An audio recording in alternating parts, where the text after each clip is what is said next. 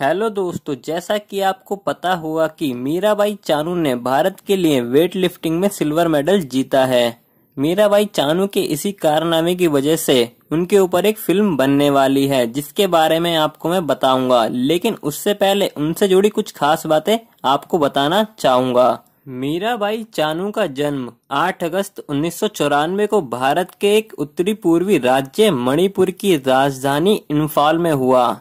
इनकी मोम का नाम साइको उगबी तोम्बी लीमा है, जो पेशे से एक दुकानदार हैं। वहीं इनके पिता का नाम साइको कृति मितेई है, जो पीडब्ल्यूडी डिपार्टमेंट में नौकरी करते हैं। मीराबाई चानू को बचपन के दिनों से ही वेट लिफ्टिंग में रुचि थी। वो केवल 12 साल की थी, तभी से वेट उठाकर अभ्यास किया करती थी। मीराबाई चानू को राजीव गांधी खेल रत्न पुरस्कार से भी सम्मानित किया जा चुका है।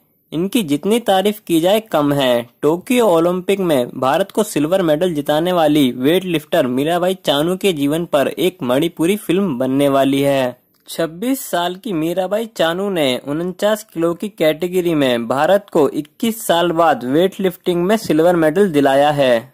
24 जुलाई 2021 को ओलंपिक में उनचास किलो की मीराबाई चानू ने वेट लिफ्टिंग में भारत के लिए सिल्वर मेडल जीता। उन्होंने स्नेच में सत्तासी किलो भार उठाते हुए क्लीन एंड जर्क में 115 किलो सहित 202 किलो वज़न उठाकर रजत पदक पर कब्जा किया। उनके इसी कारनामे की वजह से उनके जीवन पर एक फ़िल्म बनने वाली है। इसी संबंध में मीराबाई चानू और इन्फाल के सेवती फ़िल्म प्रोडक्शन के बीच पूर्व ज़िले के नोंगपोक काकचिंग गाँव स्थित उनके आवास पर एक समझौते पर हस्ताक्षर हुए हैं। उनकी रजामंदी के बाद उनके जीवन संघर्ष को बड़े पर्दे पर दिखाया जाएगा। मना ओबी एमएम ने कहा है, हमें अब एक ऐसी लड़की की तलाश शुरू करेंगे जो मीराबाई चानू का किरदार निभा सके।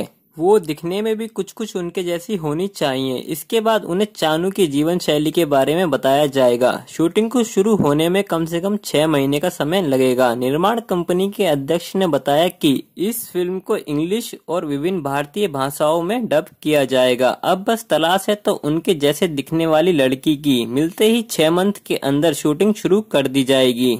आप में से कितने लोगों को ये मूवी देखनी है, हमें कमेंट बॉक्स में कमेंट करके ज़रूर बताएँ। और अगर आप में से किसी को मुझसे बात करनी हो तो इंस्टाग्राम पे मुझे फॉलो करें। चलिए मिलते हैं नेक्स्ट वीडियो में। Thank you so much